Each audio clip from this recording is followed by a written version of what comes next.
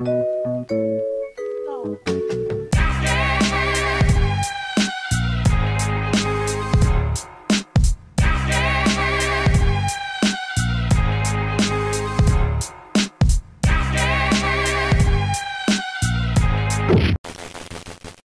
here at the Viking Academy, the greatest gym on this side of Pluto. Listen, we've done amazing things in this gym. We produced roughly a thousand champions from Japan to Oklahoma to Spain, and I'm Professor Steven Williams. Now today what we're working on is a cradle series.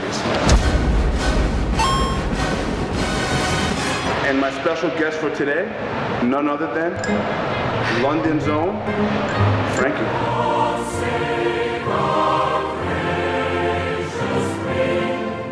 And now, how does that sound?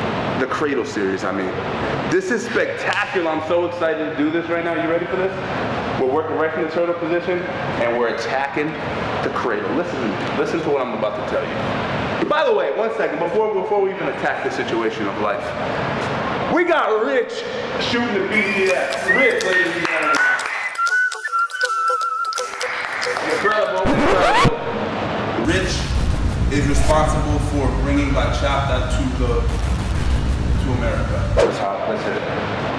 They're all fours. Now listen, I'm in a position where we're, we'll call this turtle position, right?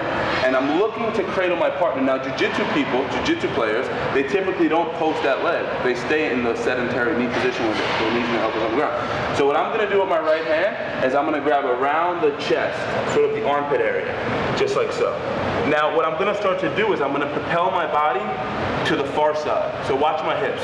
I start to walk my body to the far side, right? Hips heavy. And I anchor my, my left arm, you see my left arm, all the way around the knee. So I wanna get my, my left arm hooked deep around the knee. So if you were to take a snapshot of my arms, my right arm is anchored on Frankie's shoulder, neck area, and my left hand is anchored right below the knee, okay? So from here, all I'm gonna do is interlock my fingers. Now we can go from an S grip to a butterfly grip.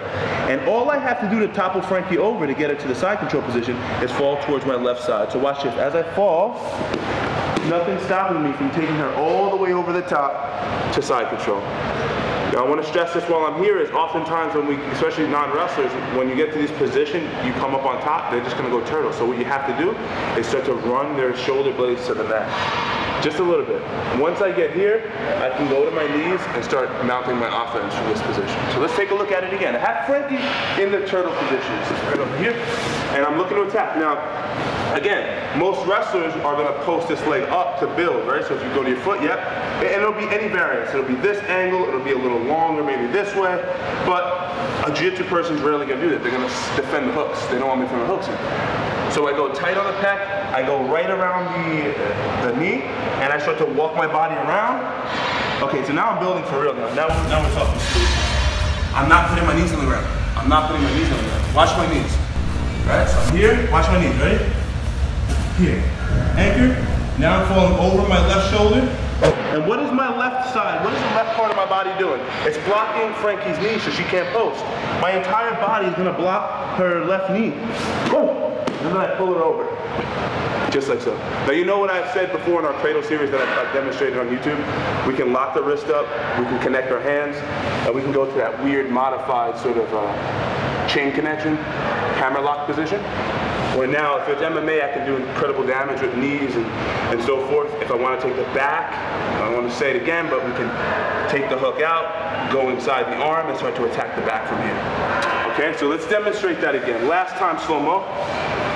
So I have my partner here in the, on the turtle position. I go back position. I start to walk around. I anchor my arms in. I fall to my left side. Boom! I push Frankie over the top, and look where we are. Right inside control. Whether I take the chain hammer lock position or not, I can come up on top and control position. All right, so now we're gonna demonstrate that for you in a relatively fast motion for uh, just to show you how it looks in like sort of a realistic situation. So I'm here.